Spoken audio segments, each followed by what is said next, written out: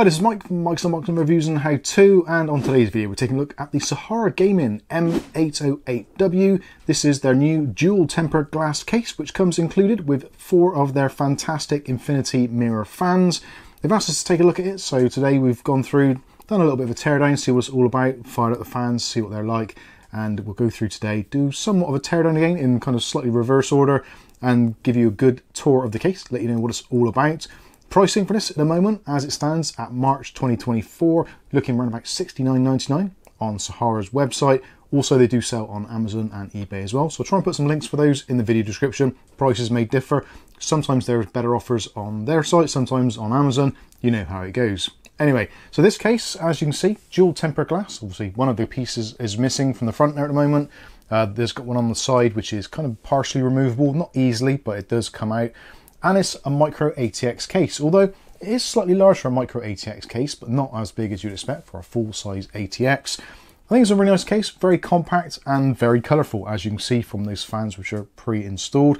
They've done a pretty decent job on this, so I think the best thing to do, I'll turn all this off now, we'll put it back together as it comes out of the factory, and then we'll do a complete teardown so you can see what it's all about. Okay, so we're back to square one, and this is basically how you get it out of the box. Now, I will say, They've done exactly what they did with the fans, so when it comes to packaging, they've not splashed out on fancy graphics and all that. It's essentially a brown cardboard box, but that brown cardboard box does have all the information on the side of it, giving you all the dimensions, etc. So I'll put that on the screen for you, so you can check that out for you now. Essentially, some of the key things in terms of motherboard support, micro ATX or ITX, CPU cooler height up to 160 mil, although I think this case is more tailored towards water cooling. When it comes to graphics cards, anything up to 410 millimeters, because got that awfully long stretch there, and the total case length is around about 420 millimeters. The rest of the dimensions are on the screen, so you can check those out for yourselves. But like I said, it has got dual tempered glass. So let's start off with the front. So the front tempered glass panel has a protective coating on, as you can see, so it's kind of slightly uh, opaque at the moment four thumb screws on there to remove it, which in the days of swing out panels actually is uh, somewhat of a throwback to see these types of screws included. The glass itself actually has a white rim around it, apart from on this leading edge, which matches up with the other one, giving you the illusion of it being slightly more open than it actually is. With the front panel off, we can now see inside, and again, we've got these four 120mm fans, so these are the M12Ws. They're also daisy chainable as well. So these are all slotted together for you out of the factory. And something which is actually really unusual, which you very, very rarely get on a case these days, is the fact that the fans actually have inverted blades. So even though they're on the bottom, we are able to see all of that good RGB stuff coming through, but the blades are reversed. So it's going to be pulling in cool air from the bottom and pushing it into the chassis, most likely directly into the path of your graphics card, which is going to be great for keeping your GPU nice and cool. The other included fan, which is included on the back there, so that's the 120, and that is done by a sort of umbilical cord, which connects it up together to minimize wiring. As we saw with the M12s, these are all daisy chained and there's just basically one cable that comes off, so that's going to give you your 4-pin PWM and also your 3-pin 5-volt addressable RGB. Nice standard stuff, really do like to see that from Sahara Gaming.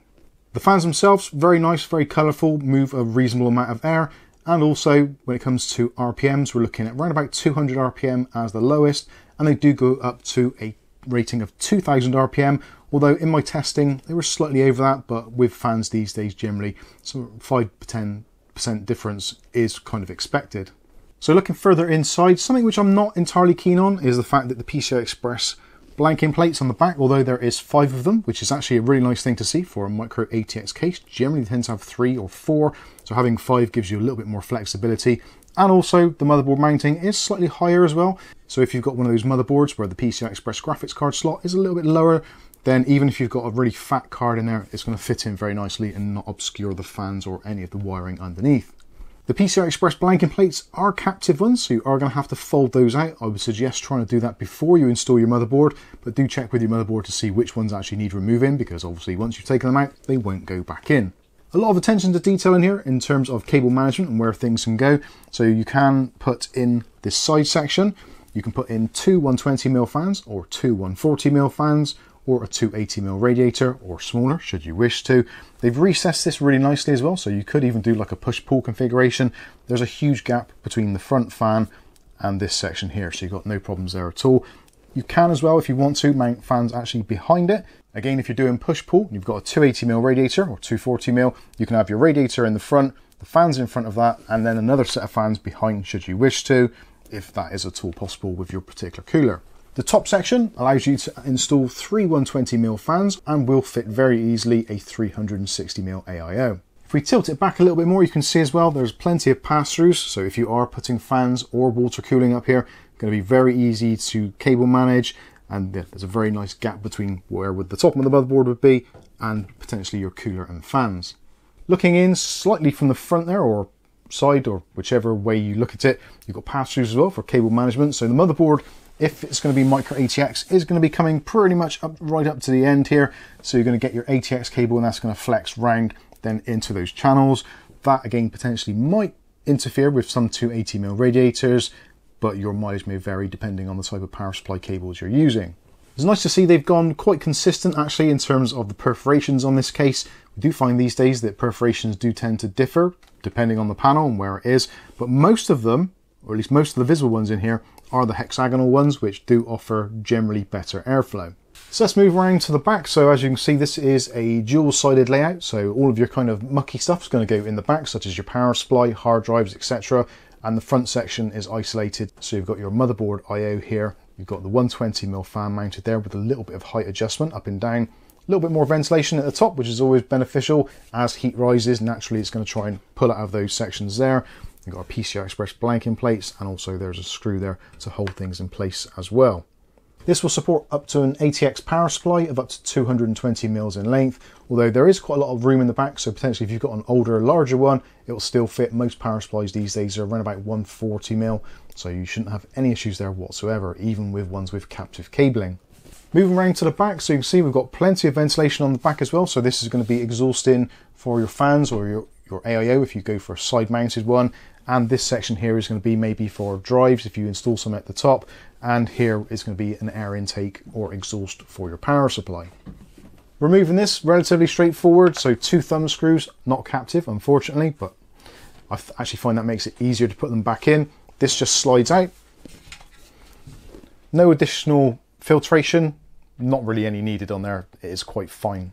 So that then gives us a good look in the back. So we've got a removable drive tray here, so you can put two drives in here, either two three and a halfs or two two and a halfs that is removable. So if you don't want that and you want a bit more room in there for cable management, you can use that.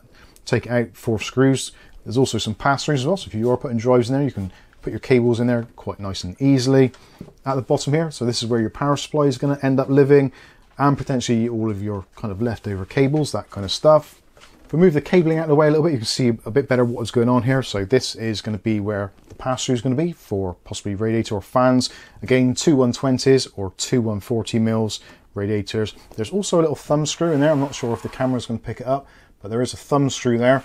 If you undo that thumb screw and four screws on the other side, this front section of glass can actually be removed should you need to for any reason, gain a little bit more access. The glass itself is somewhat structural because it does support this top section. So with that glass out and the front glass, this does have a little bit of flex to it so obviously, yeah, do be careful with that. Don't go leaving heavy things on there when the glass is not attached. So also in the back, we've got our very basic, but actually very functional hub. So this can take two PWM sources and also two addressable RGB sources. There's also a push button on there and there's a two pin connection. So if you want to change the RGB lighting using this hub, you're not going to use your motherboard's built-in hubs, then you can press that button or press the reset button to toggle through the colors, of which there are numerous. When it comes to actually powering the hub, very straightforward. So just using a SATA connection, so you can plug that into one of the SATA leads coming off of your power supply. When it comes to the fans that are included, 3 pin 5 volt addressable RGB with a pass through as well. So if you need to daisy chain even more fans, then you can do, just remove the cap and you can install more and daisy chain them. And there's also a 4 pin PWM so again, very easy to control the fan's rotational speeds on these, like I said, between 200 and 2000 RPM.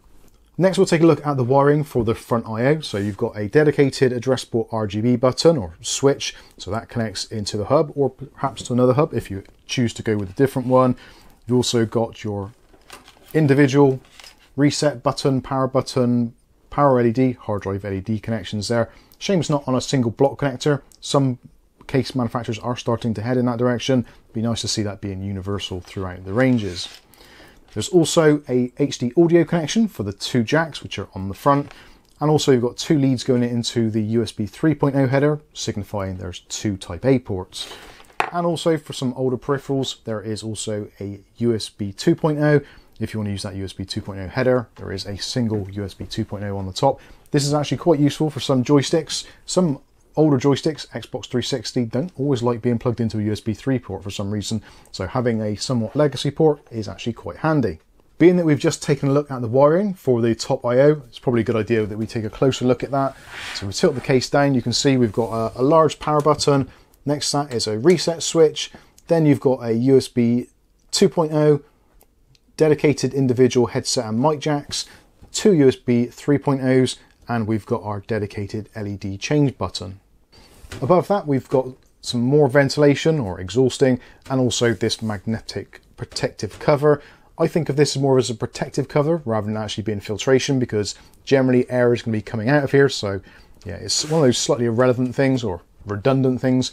And for some bizarre reason, they've actually made it considerably larger than the actual area which is able to let anything out. So not entirely sure why they've done that, but I suppose bigger is better generally. Again, hexagonal mesh on here and the ability to put three 120mm fans, two 140mm fans, 360mm radiator, 280mm radiator, or obviously smaller ones should you wish to. Next, as the doctor said, let's take a look at the bottom. So we've got some padded feet there raised off the deck. So there's about an inch of clearance there to allow fresh air to come in because this is going to be your primary air intake. This is also filtered. I would probably recommend removing the filter just to allow slightly more airflow. This, unfortunately, is one of those kind of old-fashioned metal ones with very tight perforations. Then we've got the hexagonal mesh there and the fans. Being that they're on the bottom, when they pull in dust, it's actually hard for dust to get in the case when those fans are on the bottom because the dust has to kind of fall down, then go across 90 degrees and then go back up 90 degrees, which is actually quite a difficult thing for dust to do unless it's actually forced to do that. If the fans are at highest RPM, then potentially they might do, but it's quite unlikely. So potentially I would suggest leaving this off to get better airflow, especially for those lower RPMs to make the fans quieter. Again, if you want to, you can actually remove these fans, uh, three 120s, you can put your own ones in if you want to, or just leave that area altogether and put the fans possibly in the top. In an exhaust situation, the choice essentially is going to be up to you. Included accessories inside the box, so there is another cable for the fans. So if you decide you want to split up the three at the bottom, there's an additional slotting connection here. Uh, if you think kind of Lian Li Unifan SL120s, 140s, it's a very similar sort of deal. So you get an additional one of those included if you do want to split the fans up. Possibly if you don't want the umbilical cord joining the bottom ones and this one, you want to have those wired separately, then you can do that with that additional cable. You also get a bunch of cable ties and also all the fittings you possibly need, screws, etc. All nicely done, color coded in chrome rather than being black so they don't stick out like a sore thumb. So I think that is pretty much it for a tour of the Sahara Gaming M808W. I gotta say, I'm actually very impressed. Sahara Gaming, some of the older cases, maybe four, five years ago, maybe even longer than that, I'm not too sure, it's been a while, but some of their original cases were very much on the cheap and cheerful side. They were slightly flimsy, not the greatest fans, sometimes quite poor fan controllers, which had limited functionality. Whereas this, I think they've actually come a very long way in a relatively short time. They seem to have found a uh, design factory which they can put their logo on. There's actually a Sahara Gaming logo on the glass, so they've spent a bit of money doing that. I think this is a, a very good setup, and if you think about it in terms of cost-wise, break it down a little bit. The three fans at the bottom there, although really those aren't available separately, but the traditional blades with the normal intake those are £35 for the set or 39 in some places. So that's for three fans and the controller. So if you take that out of the equation, you've got an additional fan there. You've got the really nice case, lots of tempered glass, lots of filtration, and you get all of that for around about £70 in the UK, which I think is actually pretty fair value for money. It's a very nice case, and if micro ATX is your thing, there isn't a huge amount of choice on the market. If you're going ATX, then the world is your oyster. Pretty much everything caters for ATX, but micro ATX is one of those sizes which often gets overlooked. So I'm really glad that Sahara have done this. I think it's a, a nice little case. I'm looking forward to doing a build in this and we'll probably be using the M12 fans, which we've got the other three pack, just to kind of populate these side sections and just fill it out a little bit more. Maybe a 360mm rad in the top. we'll see how things go. But if you want to see how that build goes, you're going to have to subscribe to the channel, in which case you can click on the subscribe button, then the chime notification, and that way you'll be notified of future video releases. I think that's going to wrap this one up. Very impressed overall. Well done, Sahara Gaming. Let me know what you think about this one in the comment section below. But for now, I've been Mike. This is Mike's Unboxing Reviews and How To, and hopefully we'll catch you in the very next video. Thanks for watching.